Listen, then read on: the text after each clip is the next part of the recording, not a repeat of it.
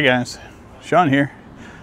Welcome back to another frugal vlog. As you can see, we are down by the walking bridge today. We're gonna take a wander through downtown. Thought I'd do another weekend jaunt down through it. Get a feel for what I'm gonna be missing, if you wanna know the truth. Now that it's getting closer and closer to the time that I'll be heading off, it's becoming more and more prevalent Hello. It's becoming more and more prevalent that I will not be here for an extended period of time. And since this is my hometown and I moved back here almost a year and a half ago now, and I've loved it. I've really enjoyed my time here. Um, that's the thing is like I don't know if this is going to be a permanent move or temporary. So that uh, I want to document as much as I can. And I tend to walk down here all the time. This is honestly when I first moved here. I walked down, there's a trail that comes down the bridge here and it goes up towards the university.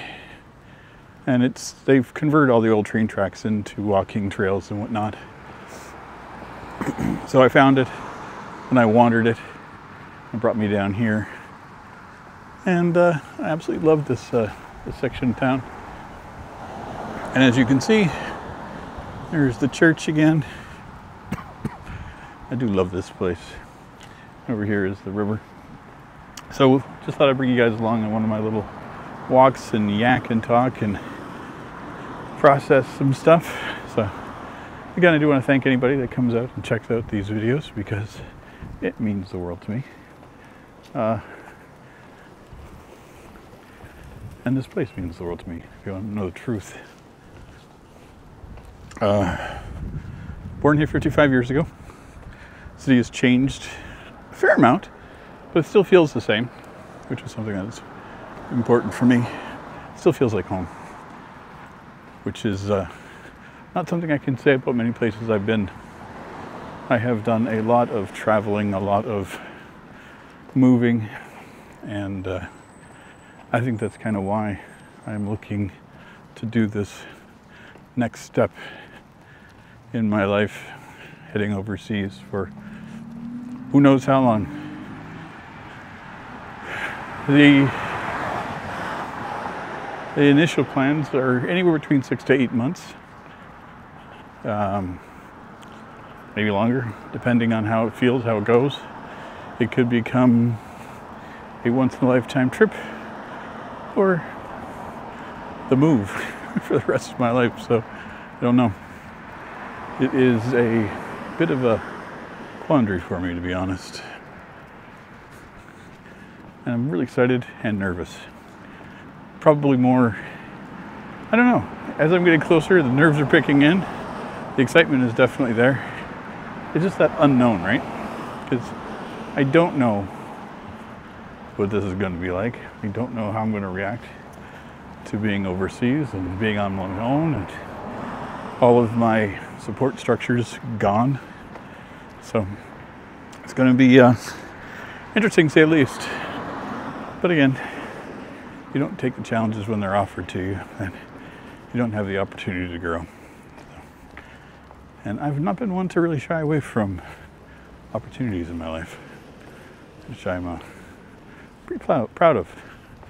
I've had an interesting life because of uh, me taking the chances and the opportunities that I have. Know, it's like get up one day and you're like, I'm to go and do this, and you go and do it. So.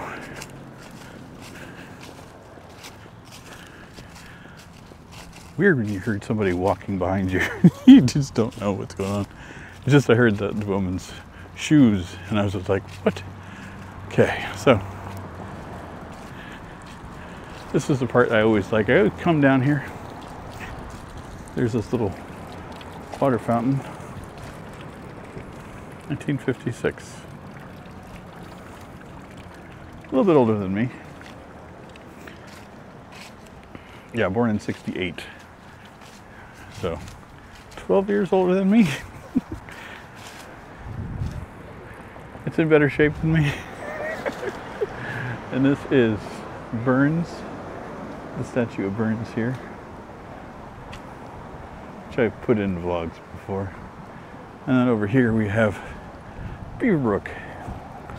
I don't know enough of the history to talk about it, so I won't.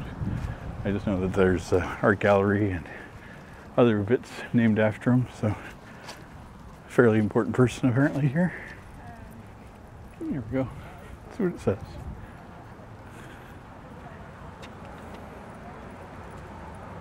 University of New Brunswick. 1879, is that what it says? The 8 looks like a 3. Hard to tell. So normally I would walk down this trail. You know what, we'll do the part of it. I'll walk down part and then we'll come along. Because over here is more of the government buildings and whatnot that we have.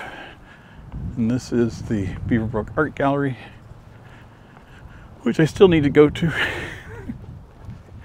I'm actually waiting to go to that once I have uh, completed my job. I want to, uh, I think it's going to be my celebration for myself, my last day of work, because um, I have a really good memory there as a child, and I want to go and relive it on a day that could be really good or really bad. So I want to uh, make sure that it either accentuates the feelings or obliterates the bad ones. So that's uh, that's the intention. Plus, I love art galleries, always have, and I'm very curious about what they have in there. When I lived in Toronto years ago, uh, the museum and the art gallery would have free days every now and again, or you know, after a certain time in the day, you can go in and either at a discounted rate or free. And ooh, I love that.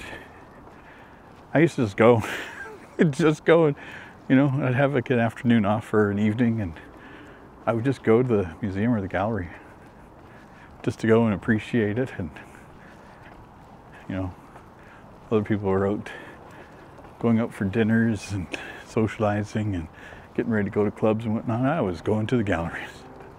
I've done enough of the club stuff myself. I have spent a considerable number of years working in and around nightclubs and all that. So, bartender for a number of years, DJ. I have done a lot. It's uh, I'm done with it. I don't have any interest in the club scene at all. I still like music. I still like dancing. I just don't like the uh, the booze. Not my honest opinion. I quit drinking a number of years ago, and it's not part of my life. It's not something that uh, I even care about. Like it doesn't even register. But because there's a culture that goes along with the nightclubs and the alcohol and all that, I'm like, yeah. It's hard too when you uh, when you bartend and you see people on a regular basis and you see them coming in all happy and then you see the ramifications of the evening and it's like ooh yeah when you're sober and you watch people making bad decisions it's rough. It's really rough. So yeah the trail continues down for quite a piece. Uh, it's quite a few kilometers i'd say two three kilometers of trail just through the downtown area. You can go for quite a piece and i like it. I do it quite a bit but today, I'm not taking all of it. This is some of the outdoor artwork that we have here for the art gallery. And I like walking through this. This is one of my, either I walk this way or that way. I will wander through. That man needs a pair of shorts. I don't care. It's all good to me. Expression in art is fine. Ooh, why have I not seen this guy?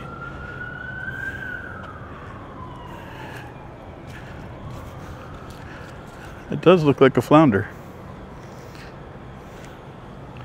I don't know if those are around here.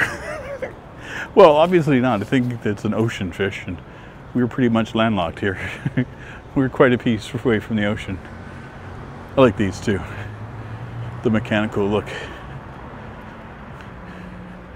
I dig that.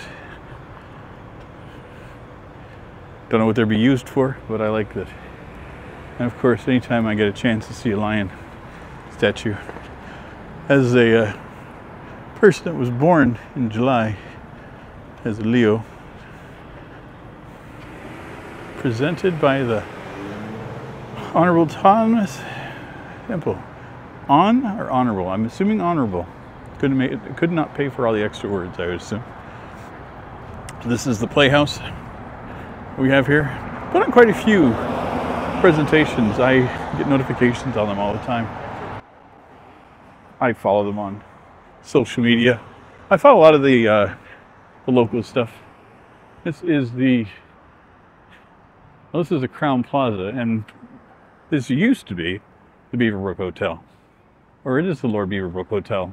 See that on the awning there, but it's also known as the Crowne Plaza. If the name is changed, I don't know. I don't know if they go by both. Doesn't matter to me. The Hilton, I do not recall. That uh, most likely is a newer construction. I don't know what would have been there. I know there used to be a theater, like a, a movie theater down here. I think it was further on down.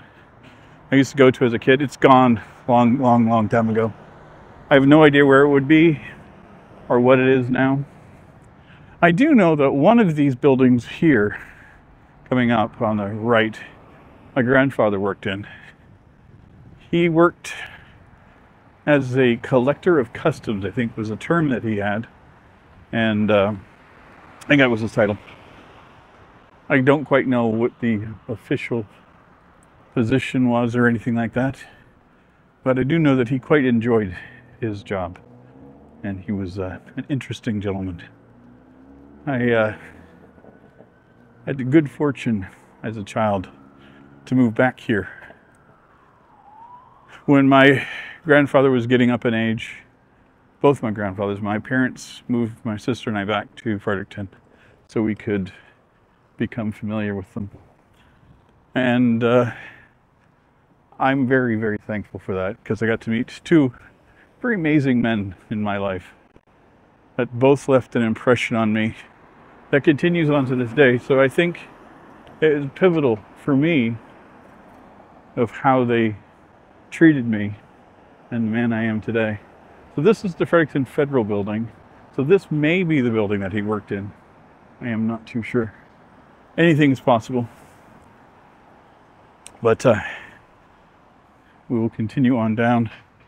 This is King or Queen Street. I gotta double check. I think it's Queen. It is Queen. This is one I tend to walk down. The next street up is King.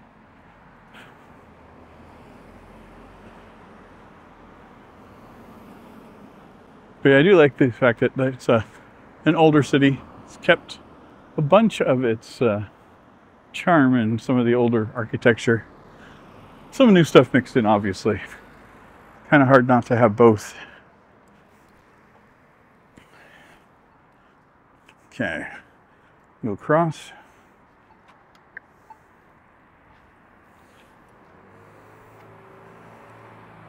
While I wait. So yeah, that next set of lights up there, that is King Street.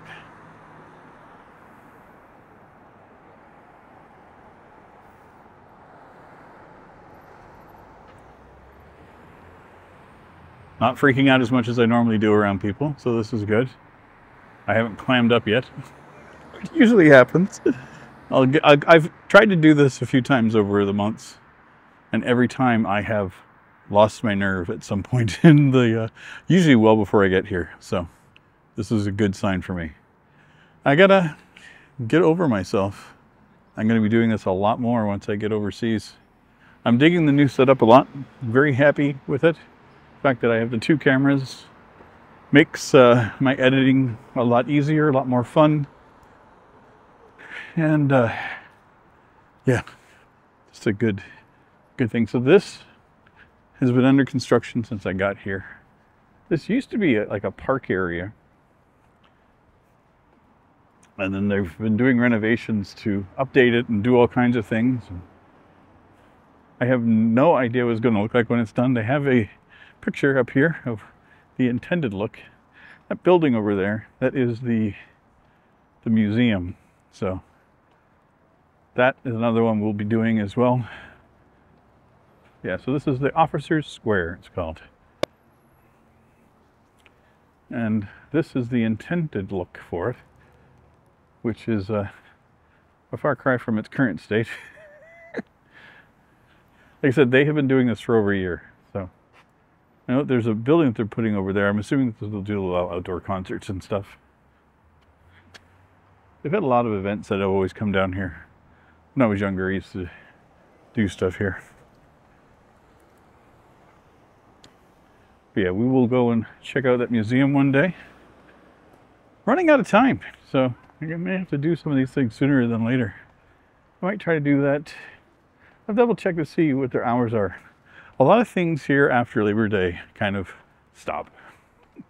Like the the the weekend hours kind of stop and they just go to weekday, which I think is odd, but whatever. There must be something going on here because everybody seems to have their phones out. Probably some Pokemon Go thing. Who knows? But I've seen a lot more people than normal with their phones out looking at things when they're walking. So, yeah, yeah, I'm pretty sure the theater was along here someplace that I used to go to. I have some good memories there and some weird ones. Remember once we went to a, uh, a weekend matinee and they showed The Last Waltz, which was a uh, documentary about the band. And a good movie. I've watched it again since and I've loved it. But when I'm 10 years old, I didn't understand anything that was going on. I didn't quite understand the uh, the failings of people in rock and roll. So here's our Sports Hall of Fame. Not a place I will be going to. I have never had an interest in sports at all, ever. And there's way more people again with their phones. I may have to stop and ask somebody what the heck is going on. So, uh, this area here, if you saw my video about the Garrison Night Market, this is that area. You know what? We'll head up over to the uh, the bridge, the walking bridge.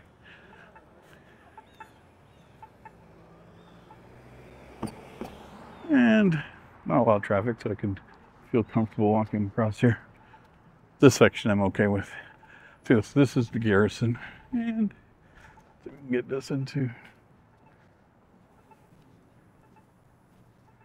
the historical garrison area.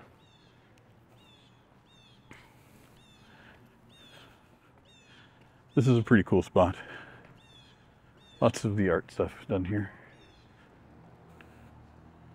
I dig, as we tend to.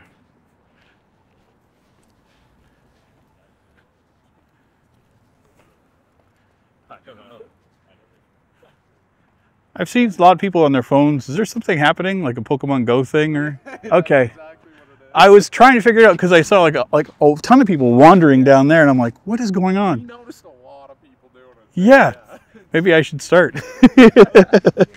Have a good one. Cool. So, I was correct in it being a Pokemon Go thing. Hello. This is the public library. I used to go to there a lot when I was a kid. Uh, bookworm. Love books. You know, not your normal kid. Art galleries and, and uh, libraries were my thing. So I loved them. They were great. This was a wonderful library as a kid. Uh, it was new when I was a child. So it's not so new anymore. But this section that we're going to, this kind of has a bit of a meaning for me. So this street here used to be really, really busy because the main bridge that went from the other side of Fredericton, which we called Nashwaaksis, to the main part of Fredericton, there was only one bridge. And it came right through the street. Um, so in the late 70s when I lived here, they were intending to, you know, build a new bridge and tear down the old one. So there are still remnants of that old bridge on the river, but they've made a walking bridge across. And this whole section down here, you can see this was all. I don't recall there being a bunch of land here, so I'm assuming a lot of this was developed and reclaimed and uh, put there on purpose. I don't recall, but this road didn't exist. And as you can see off in the distance there, those are the uh, the concrete and stone bits that are left over from the old bridge, and the new bridge is over there. And as you can see, the width of this was not very wide. It was, memory serve, I think it was two lanes. So one going north, one going south. And then coming right into the downtown, it jammed up all the time. So putting in a new bridge, new road system, and developing it made a lot of sense. But uh, ah, what a fun time. This was fun. Yeah, so this is Fredericton. Not too picturesque, not a lot of tall buildings. I like it, like I said. For me, it's more of an important thing because it's my home. Hometown, I guess I should say. And I love the fact that it has stayed quaint and lovely, and the people here are delightful. You know, just even stopping and talking to those gentlemen real quickly, asking about Pokemon Go. Lovely. People here are great. And I'm going to end things here, standing on the St. John River. I'm going to continue walking on down that way. It continues on past those buildings and down past the old hospital. And then there is a um, hotel that it comes out of.